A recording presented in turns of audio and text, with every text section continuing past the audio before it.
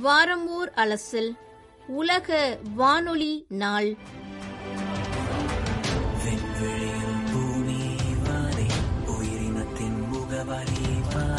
அனைவரும் தங்கும் வீடு பூமி இவன்தானே.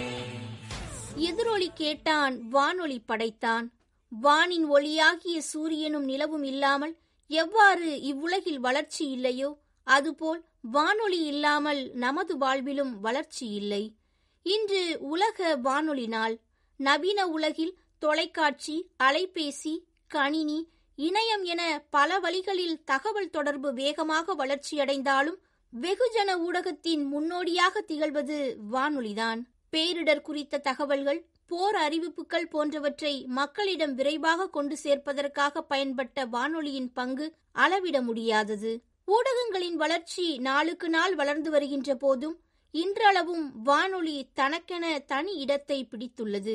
உலக வானொலி நாளாகிய இன்று வானொலி பற்றிய தன்னுடைய கருத்துக்களை இன்று நம்முடன் பகிர்ந்து கொள்பவர் மாணவி அஸ்மிதா. மரியின் ஊழியர் சபை அருள் சகோதரிகள் வழிநடத்தும் தூத்துக்குடியில் உள்ள புனித மரியன்னை கல்லூரியில் இரண்டாம் ஆண்டு வணிகவியல் படிக்கும் மாணவி அஸ்மிதாவை எம் வத்திகான் வானொலி நேயர்கள் சார்பில் அன்புடன் வரவேற்கின்றோம். சூரியனின் ஒளியை ஒன்று நிலவின் ஒளியை பார்த்து பகலிரவும் நமக்கே சுற்றும் பூமி இவன்தானே. அனைவருக்கும் எனது அன்பார்ந்த வணக்கங்கள். வானொலி தினமான இன்றைய நாளில் வானொலியின் சிறப்புகள் மற்றும் வானொலி தினத்தின் முக்கியத்துவத்தை உணர்த்த சில கருத்துக்களை உங்களிடம் பகிர விரும்புகிறேன். வானொலி என்பது ஒரு குறிப்பிட்ட அதிர்வெண்களை கொண்ட மின்காந்த அலைகளின் வழி தொடர்பு கொள்ளும் ஒரு கம்பியில்லா தொலைத்தொடர்பு ஊடகமாகும்.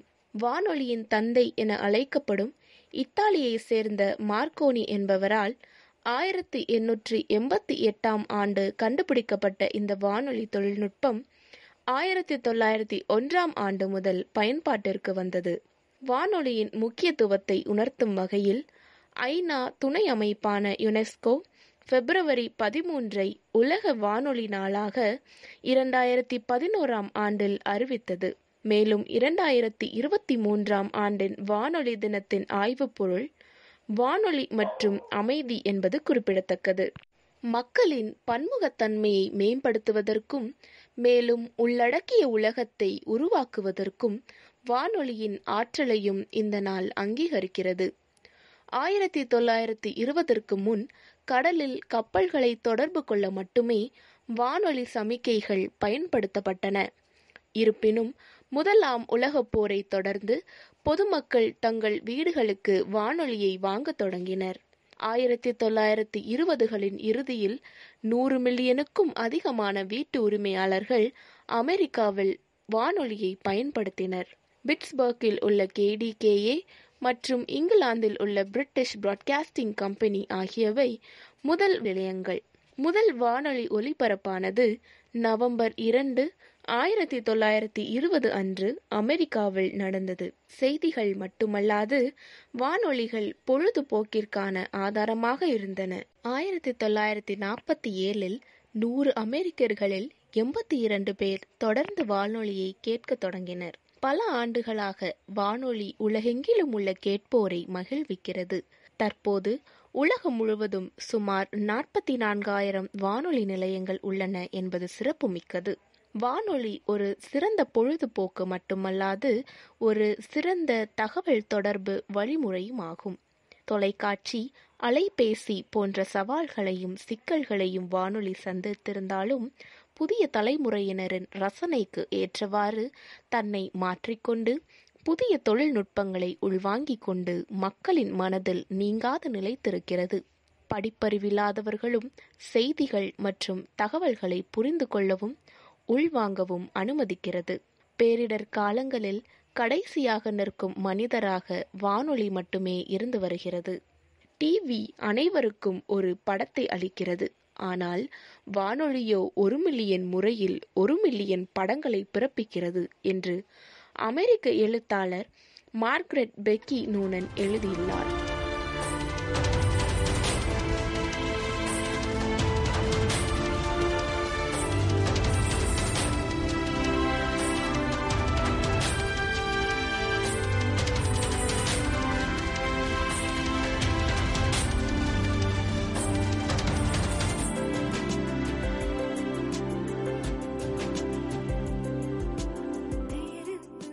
ஆயிரத்தி தொள்ளாயிரத்தி முப்பத்தி ஒன்றில் குக்லிமோ மார்க்கோனியால் வத்திக்கான் வானொலி நிறுவப்பட்டது. இன்று அதன் திட்டங்கள் நாற்பத்தி ஏழு மொழிகளில் வழங்கப்படுகிறது. இது சர்வதேச செய்திகள் மத கொண்டாட்டங்கள் இசை ஆகியவற்றை உள்ளடக்கிய ஒரே நேரத்தில் நாற்பத்தி இரண்டாயிரம் மணி நேர ஒளிபரப்பை உருவாக்குகிறது. ஆயிரத்தி தொள்ளாயிரத்தி எழுபது எண்பது காலகட்டங்களில் இலங்கை வானொலி மாலை நேரத்தில் அனைவரின் வீடுகளிலும் இனிய கானங்களை இசைப்பதாக இருந்தது. அது பெரும்பாலான தமிழ் மக்களின் வரவேற்பை பெற்றதாக இருந்தது. இன்று பல்வேறு ஊடகங்களினால் வானொலி கேட்பது குறைந்திருக்கிறது என்றாலும் கூட இந்த காலகட்டத்தில் நம் வத்திக்கான் வானொலியின் சேவை இணையற்றது. உலகம் முழுவதும் உள்ள தமிழர்களுக்கு தாய்மொழியை காதுகளில் கொண்டு சேர்க்கும் செவ்விய பணியை ஆற்றி வருகிறது. உலக அளவில் வானொலி மிகவும் பரவலாக நுகரப்படும் ஊடகமாக உள்ளது. உலகெங்கிலும் உள்ள வானொலி நிறுவனங்கள் அதை எவ்வாறு கொண்டாடலாம் என்பதை குறித்து வழங்கிய பட்டியலை இப்போது அறிவோம். எப்போதையும் விட அதிகமான மக்கள் இசையை கேட்கிறார்கள் அல்லது இணையத்தில் தங்கள் செய்திகளை பெறுகிறார்கள். நீங்கள் வானொலியை கேட்டு சிறிது காலங்கள் ஆகியிருப்பின் வானொலியை மீண்டும் கேட்டு ரசிக்க தொடங்குங்கள். வானொலியின் வரலாற்றை ஆராய்ந்து அது நமது கலாச்சாரத்தை எவ்வாறு வடிவமைத்துள்ளது என்பதை அறிந்து கொள்ளுங்கள். சிறுவயதில் வானொலி கேட்ட நினைவுகளை மற்றவரிடம் பகிர்ந்து கொள்ளுங்கள். வானொலி இல்லாத அந்த வாழ்க்கையை நினைத்து பாருங்கள். நீங்கள் மட்டும் கொண்டாடுவதோடு நிறுத்திவிடாமல் உங்களுடன் சேர ஒருவரை அழைத்து வானொலியின் மீதான உங்கள் அன்பையும் அறிவையும் அவரோடு பகிர்ந்து கொள்ளுங்கள். அல்லது சமூக ஊடகங்களில் உங்கள் ஆர்வத்தை பரப்புங்கள். இவ்வாறு வானொலி தினத்தின் முக்கியத்துவத்தை அறிந்து கொள்வதன் மூலம் மக்களின் மத்தியில் இருக்கும் வலைப்பின்னல் வலுவடைகிறது. இறுதியாக வானொலி இருந்தால் நீங்கள் தனியாக இல்லை என்பதை உணர்ந்து கொள்ளுங்கள். வானொலியில் எப்போதும் உங்களுக்கு ஒரு நண்பர் இருப்பார். உலக அரங்கில் தமிழின் பெருமையை பறைசாற்றிக் கொண்டிருக்கும் வத்திக்கான் வானொலி நிலைய செயல்பாட்டாளர்கள் அனைவருக்கும் எனது நெஞ்சார்ந்த நன்றிகள். அனைவருக்கும் இனிய வானொலி தின வாழ்த்துக்கள். தொடர்ந்து வானொலி கேட்பதை பழக்கப்படுத்திக் கொள்ளுங்கள். நன்றி.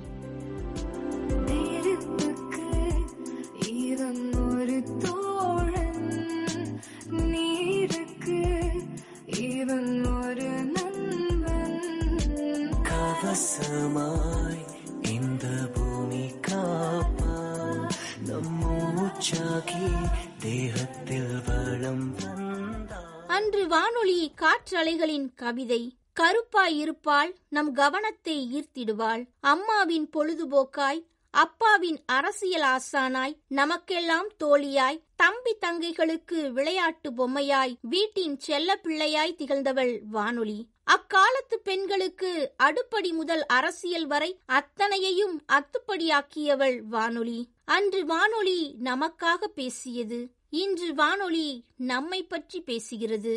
உலக வானொலி நாளினை கொண்டாடி மகிழும் இவ்வேளையில் திருத்தந்தையின் குரலாக செயல்பட்டு வரும் வத்திக்கான் வானொலியின் சிறப்புகளையும் இன்று நாம் அறிந்து கொள்ளலாம். திருத்தந்தையின் குரலையும் எண்ணங்களையும் உலக மக்களுக்கு கொண்டு செல்லும் நோக்கத்தில் தொலைநோக்கு பார்வையுடன் உருவாக்கப்பட்ட வத்திக்கான் வானொலி தனது தொண்ணூத்தி இரண்டாவது வயதை இவ்வாண்டு நிறைவு செய்கின்றது. ஆயிரத்தி தொள்ளாயிரத்தி முப்பத்தி ஒன்றாம் ஆண்டு பிப்ரவரி பனிரெண்டாம் நாள் தொடங்கப்பட்ட வத்திக்கான் வானொலி திருத்தந்தையின் குரலாக கடந்த தொண்ணூத்தி இரண்டு ஆண்டுகளாக காலத்திற்கேற்ற முறையில் தன்னையே வடிவமைத்து உலகில் சிறப்புடன் பணியாற்றி வருகிறது. திருத்தந்தை புனித இருபத்தி மூன்றாம் யோவான் அவர்களும் ஆயிரத்தி தொள்ளாயிரத்தி அறுபத்தி ஒன்றாம் ஆண்டு பிப்ரவரி பனிரெண்டாம் நாள் தன் ஆரம்ப காலத்திலிருந்து அன்றன்றைய தொழில்நுட்பங்களை அறிமுகம் செய்ய ஒருபோதும் தயங்கியதில்லை என்று வத்திகான் வானொலியை பாராட்டியுள்ளார். தொண்ணூத்தி இரண்டு ஆண்டுகளாக இவ்வானொலி சீரும் சிறப்புமாக செயல்பட அயராது உழைத்தவர்கள் பலர். வார ஒளிபரப்பாக இருந்த தமிழ் நிகழ்ச்சிகள் அன்றாட நிகழ்வுகளாக மாற்றம் பெற்றன. திருத்தந்தையின் கருத்துக்களை உலகத்தில் வாழும் தமிழ் மக்கள் காதுகளுக்கு கொண்டு செல்ல இன்றும் பல முயற்சிகளை எடுத்து வருகின்றது.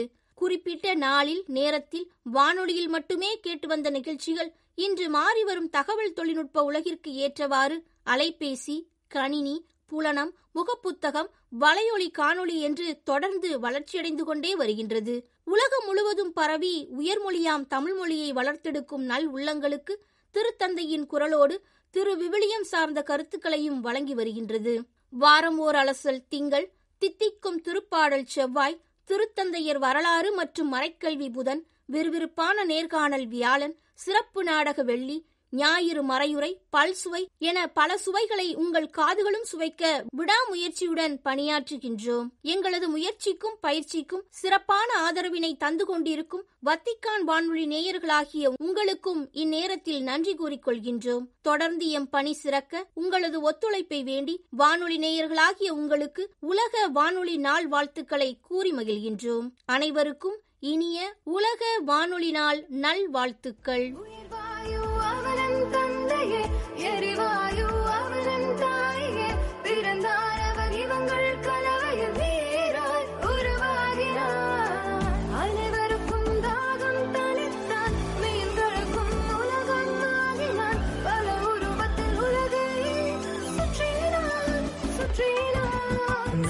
நதியாய் மழை துளியாய் பனியாய்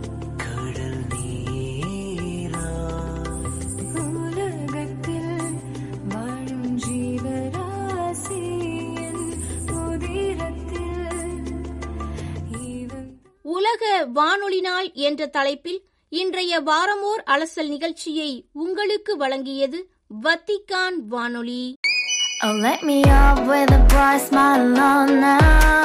Put me in the dark, so won't get lost now. To the moonlight, eyes you are real right now.